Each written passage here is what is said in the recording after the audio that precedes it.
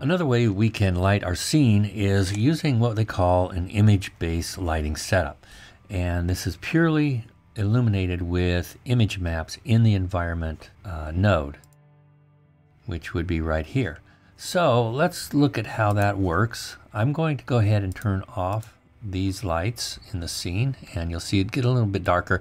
We still have global illumination active so you can actually still see the, uh, the shoe itself.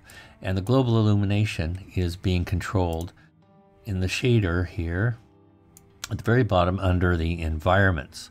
Now, in order to adjust the lighting of this global illumination here, um, we can set some parameters here in the in the uh, zenith, sky, ground, nadir color. Or the easier way to do this is to simply open up preset browser here.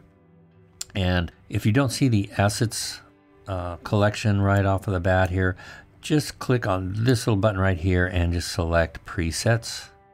And I'm going to go over to environments, open that up, and uh, let's do uh, let's do a studio environment here. You can see this is populated with images that can be used to illuminate your scene based on their luminance values. And this is achieved by wrapping that image around a virtual sphere within your environment. And if we keep our eye on the render window, you can see that our scene is becoming brighter and more illuminated with the use of that image map. Now there's a lot of ways that you can enhance and control the environmental lighting that you've chosen for this scene. One of the ways is to navigate over to the environments node in the shader tree, click its down arrow to expose the image and environment material. Now within the image, you can see it's mapped on a spherical projection type and you can change its projection axis. Now if I go over and click on the texture locator edge tab, I have some controls over to the positioning of the lights to a certain degree.